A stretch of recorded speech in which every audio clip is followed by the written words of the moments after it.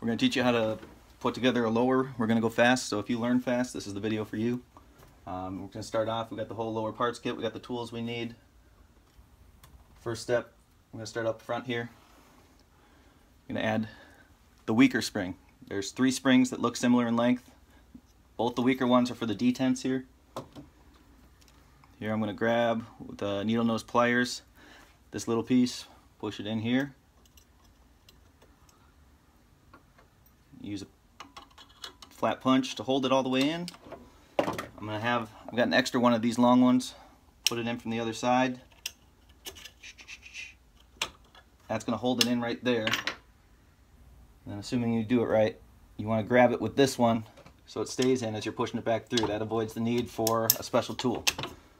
Once you get it in, make sure you can pop it back out. Push it in, it works, it locks. That piece is done. I'm to rotate the safe around.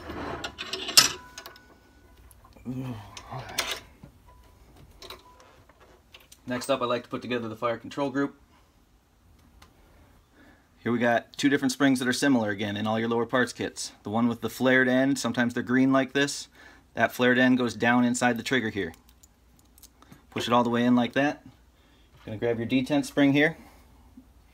Put on top of the detent on top of it. You're gonna wrap your hammer. This is a JP lightweight trigger spring. It's gonna sit just like that. Orient it. We're gonna set it in there, but we're not gonna do anything with it quite yet. Get it all the way down in there. Then safety selector. Stick that through right here. Make sure you put that in before you pin this, otherwise it might not go in. You want this long piece here facing to the left if you're from the rear of the rifle. So I'm going to push this down. I'm looking through the hole right here to make sure it lines up. And then this is going to come in with the long piece straight, not the line piece from the opposite direction. Make sure it's lined up. Takes a little finagling and a little practice, but you'll get it. Don't have to force it. If it's not going in, it doesn't work. Next up, we got our hammer. Here's your hammer. Another JP lightweight spring. This is the hammer spring. Wraps around that way, just like that. Then when we put this down in here, we're going to bend these behind that pin we just put on the trigger. So they're down, push forward. A lot of force is going to be going that direction. Again, you want to take this spring with the flat place, put into ugh, looking to the left, and push it on through. Get it lined up, wiggle it in. You're good. We'll do a functions test on this. So you're going to put this back, hold this on safe, make sure it doesn't fire.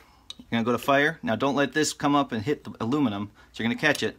Should fire. Now push it all the way back down while you're still holding the trigger here. When you let go, it needs to make that clicking noise. Then it's good to go. Next up, since we have that in place to hold this for us, I'm to grab the other spring that was similar to that detent spring, but doesn't have the flange. That's going to go in here. I'm to grab this little piece here. That's going to go with the small side in towards that. Then we're going to grab your bolt catch release. Put that right there. I'm going to look down here and make sure that those holes line up. Doo -doo -doo. And this is going to sort of hang, hold it in place, the hammer here. And we've got this moly lithium grease. One thing I don't have set up. There we go.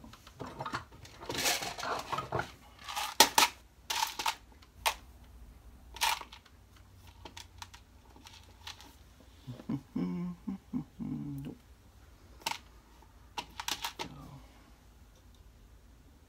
Nope.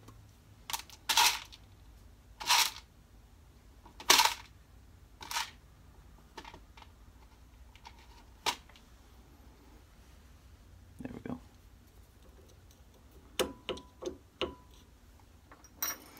So we're going to grab your detent pin.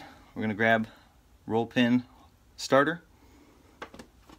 Dip it in just a little bit of this moly lithium grease. And I'll be very careful. This is where a lot of the scratching comes into play. When you're pounding it in here, do not scratch your receiver, especially a pretty one like this. You're going to get it started. We're going to wiggle this down until it's loose. Get it up to about there. Don't go too far. It's going to start hitting this back wall. Then I've got This is a nail set. Get these at Menards or get that in. wipe off the grease here. And then finally we're going to take this, set it in a little bit past flush there. Don't want it sticking out the other side though.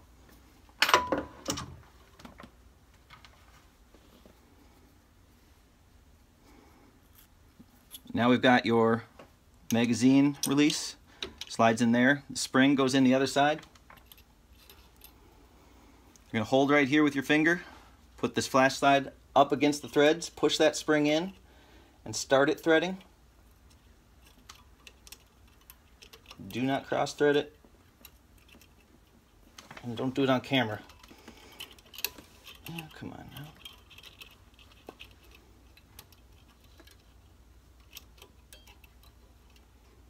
There we go. Then we're going to push that magazine release all the way in using the back side of the roll pin starter. So this comes all the way out to here. Tighten it up until you start feeling resistance. Back it out, make sure you're happy with how flush it is on the other side. Good to go there. Next up, I'm sticking a Magpul drop down trigger in. So I'm going to flip this whole thing.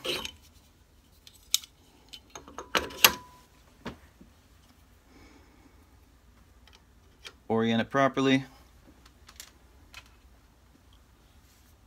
First step, set screw goes in on the front.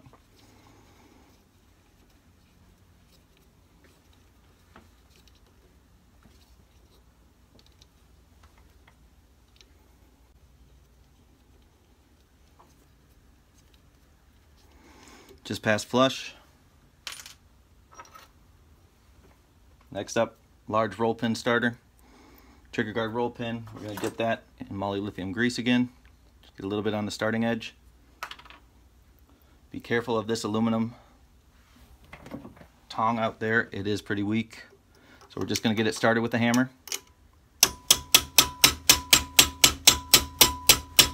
Then press it just wrapped uh, some plastic and some soft tape around there to go up against the backside.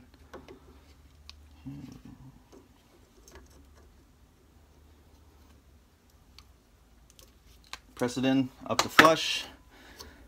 Then we're going to pound it just a little bit more. Again, being gentle, trying to get it recessed to here.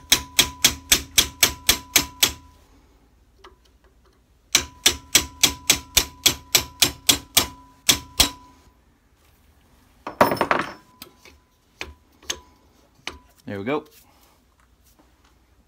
Next up we've got our ergo trigger, right-handed. Uh, when you take these out,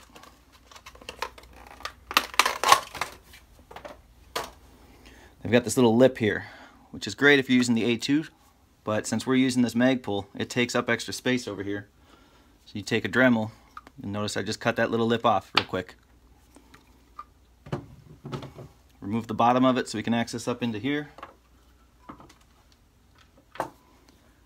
We're to grab the, there's only one of these in your lower parts kit. Grab that piece, drop it right into here. Make sure that your safety selector is in between either fire or safe. Dealer's choice.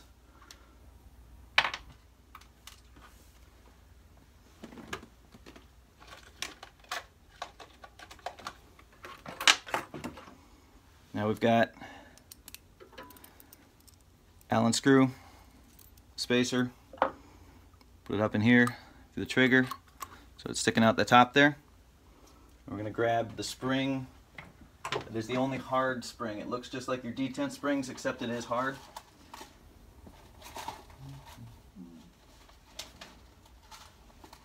So it's the one that's shaped like this, but different than the other two. There are three of these.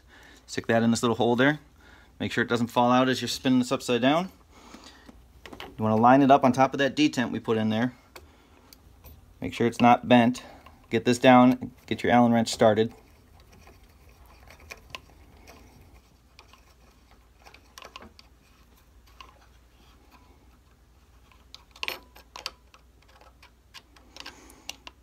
You want it snug. Obviously you're tightening into aluminum, so don't strip it.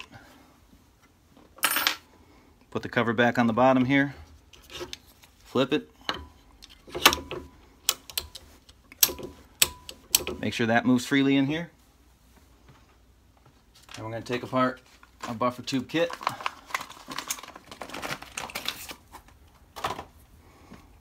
If you're using the Airborne Arms LLC buffer tube kit, it's going to have a paratrooper engraved onto the back here. You're going to want to orient that so the flat side above it is up when you're putting it together.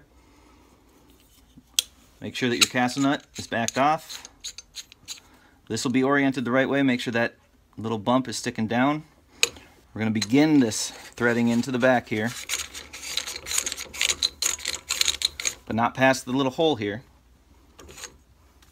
Now we got to take your other takedown pin, come in from the right side if you're facing it from the rear. Put that in. Make sure that the groove is lined up to the rear. We're going to take your other detent pin, just like on the front, tiny little guy here. That's going to go in the hole right there. Push that in. Take your last little spring here. We're to push it in just to make sure it's pushed all the way in. I'm to keep this out for now. Then this will hold your buffer in place, these two. Put the spring in here, drop it into the hole right in the back by this buffer here.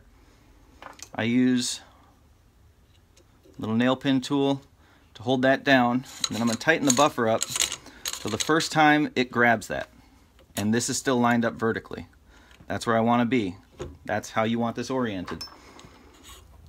I'm going to back this off. I'm going to tighten it just a hair more so that it's off to the side while I put in that final spring that we had that we were pushing in this tiny little hole. Then I'm going to back this plate off so that spring is oriented straight. And then using this plate, I'm going to push it in so it's flush, it's not curved or anything. I'm going to hold it right up against here. Helps if I look at it because it's not flush. Back it off. There we are.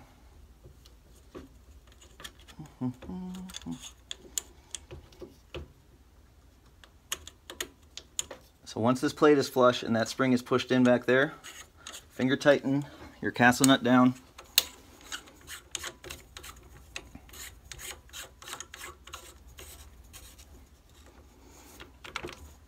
So everything's in there and it's all holding. Check to make sure that this is oriented. You may have to spin it a little bit so it sits in that groove, but it'll lock into place.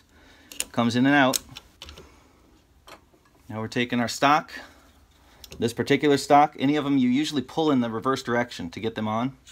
So same with back here, you'll notice the one that's set up with our new trigger, you'd pull down like this to come off. You push up to adjust. That's how most stocks work. This one right here, you're gonna push up here on the Hogue one to adjust it. To get it on, I'm gonna pull down on these two. Start sliding this on, pull it all the way down till it gets started. The reason I'm putting that on now is because I can use that to make sure that this buffer tube orients vertical while I'm tightening this castle nut down. Now I take my torque wrench. I've got my tool here. This is uh, actually Bravo Company made this one. I'm sure you can get a number of other ones or a regular armorer's tool. Have it at a right angle so your torque specs read properly. And come onto this castle nut. Be very careful not to scratch up your buffer tube.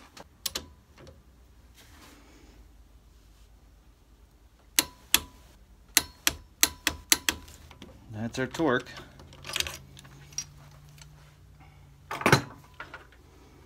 Take a buffer spring, slide it all the way in. Buffer, again if you're using the Paratrooper one, just want that flat side up, Paratrooper oriented.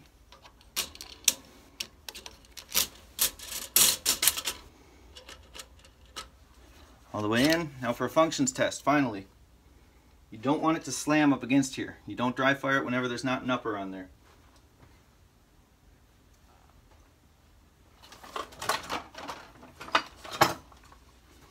We've got this block. Uh, JP sells these. We can get a hold of them too if you're looking for them. That lets you dry fire. So now what you're going to do, does not work on safety. Go to fire. Does fire. Hold the trigger down. Come back. When you release, Should pop right back up. Go right back to safe and doesn't work. You're good to go. You got to lower.